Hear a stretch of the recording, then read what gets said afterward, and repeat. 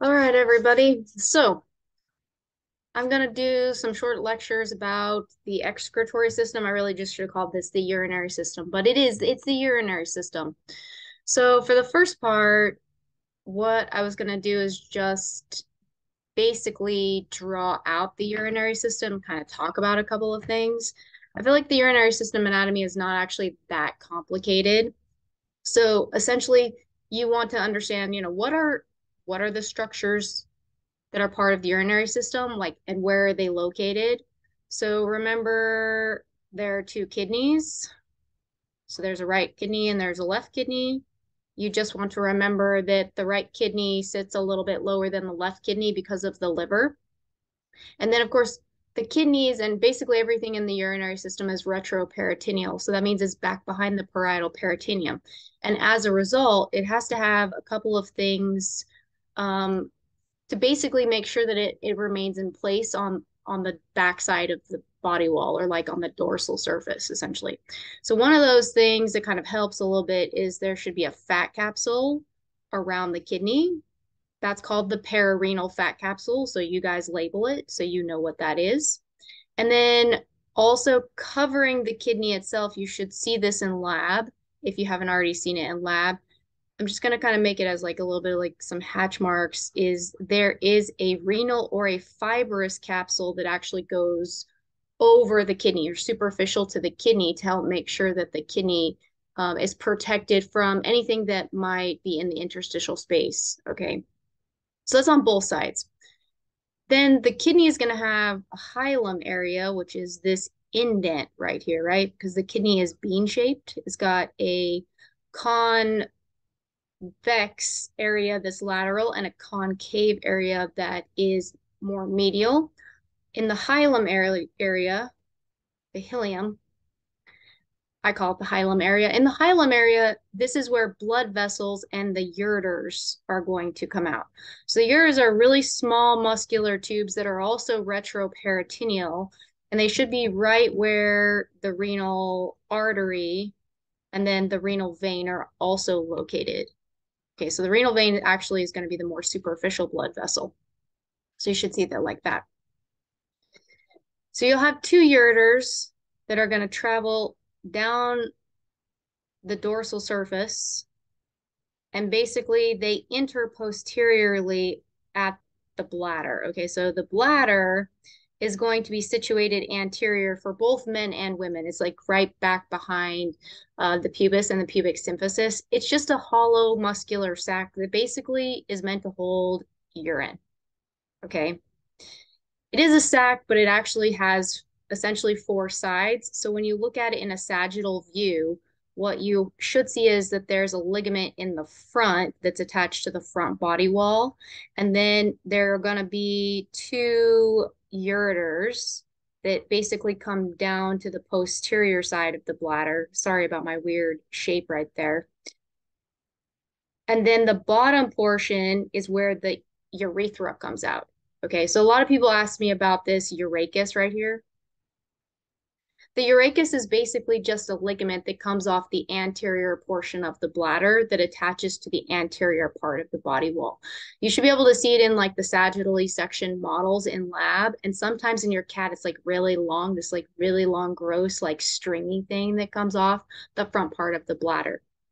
Okay. If we get to development, we'll talk about that. But if we don't get to development, then we won't talk about that basically what I mean is like what it's developed from. You have to forgive my crazy drawing. It went a little bit sideways there. Okay. So remember, inside of the bladder, basically where the urethral openings are, and then where the um, where the ureter openings are, and where the urethral opening are openings are going to be, there's a triangular space, and this is called the trigone. Okay, it's usually kind of the flat bottom or inferior portion of the bladder, essentially. So we got our kidney, we have our ureters. Remember, spelling here is going to be important because if you don't spell ureter right and you spell urethra, the ureters and the urethra are different things. Right? So the kidney is going to have a fibrous capsule that's going to surround it. It has a pararenal fat capsule.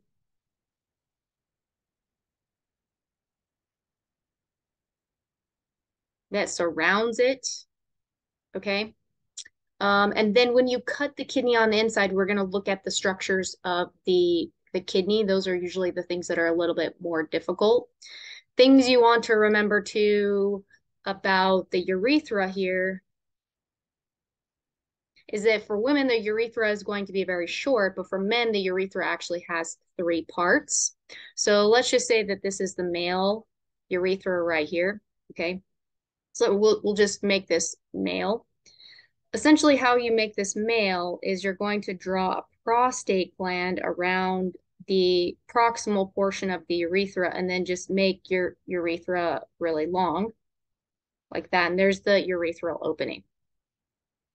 And I'll draw some of the sphincters for you guys too, so you know exactly where those are. So this is the prostate gland for, for men. So the portion of the urethra that is surrounded by the prostate gland is called the prostatic urethra.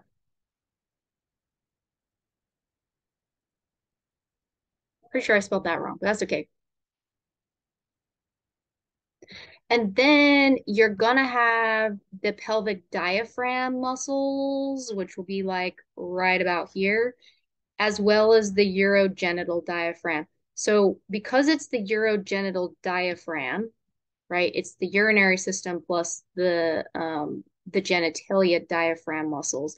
One of those muscles that I'm to try draw a little bit darker right there. This is the external urethral sphincter.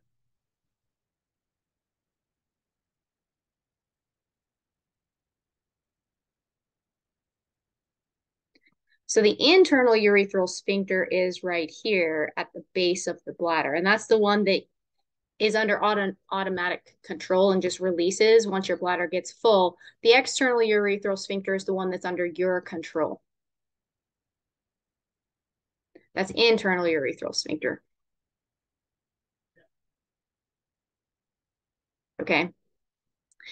So right where the eh, external urethral sphincter is, this is called the membranous or intermediate uh, urethra. I just call it the membranous one.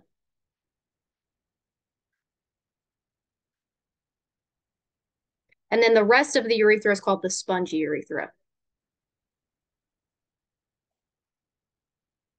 Because it's going to be surrounded by erectile tissue, and that erectile tissue is called the corpus spongiosum. Okay, so this is like just a hopefully like a nice brief overview of the anatomy of the urinary system.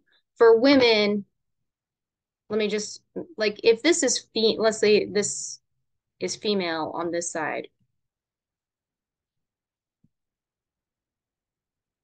they don't have a prostate gland. So their internal urethral sphincter is right at the base of the bladder. And then their external urethral sphincter is also in the urogenital diaphragm. It's part of the urogenital diaphragm.